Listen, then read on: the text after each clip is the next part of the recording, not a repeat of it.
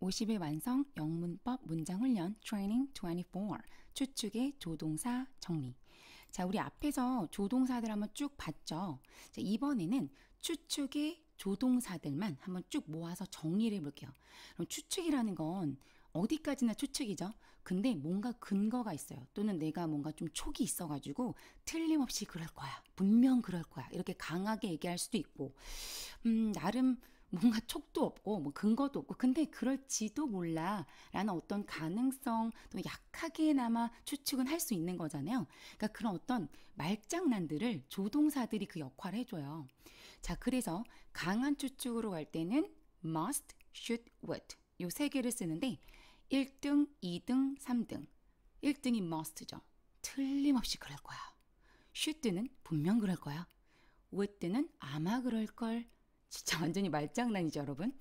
그 다음에 가능성. 야, 그럴 수도 있겠다라고 하면 can이나 could. 제일 약하게 그럴지도 몰라 이러면 may나 might. 여기 제가 이제 한 줄로 쭉 얘네들을 줄 세워놨어요.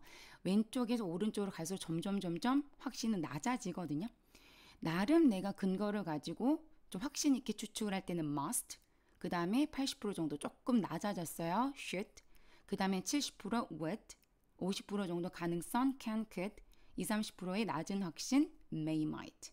자, 그래서 요 간단한 문장을 가지고 한번 조동사로 다 바꿔서 넣어봤거든요.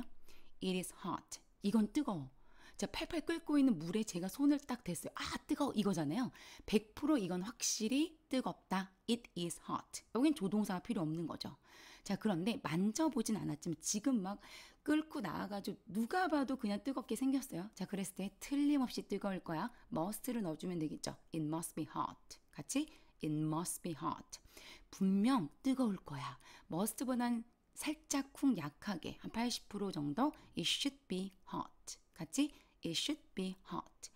자, should보다 조금 더 약하게 아마도 그럴걸 정도의 느낌 It would be hot. 같이 읽어볼게요. It would be hot. 뜨거울 수도 있겠다. 가능성 50% 정도. It could be hot. could도 되고, 되고요. can도 되고요. It could be hot. It can be hot. 두 개 같이 It could be hot. It can be hot. 네. 뜨거울지도 몰라 이러면 may도 되고 might도 돼요. 자, might로 먼저 읽어볼게요. It might be hot. 또는 may로 바꿔도 똑같아요.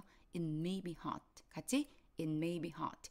우리 can, could 편에서 또는 may, might 편에서도 제가 언급을 했지만 can이랑 could가 또는 may나 might가요. 추측으로 쓰일 때 could나 might가 현재 형태 can, may보다 추측의 느낌이 좀 더 강해요.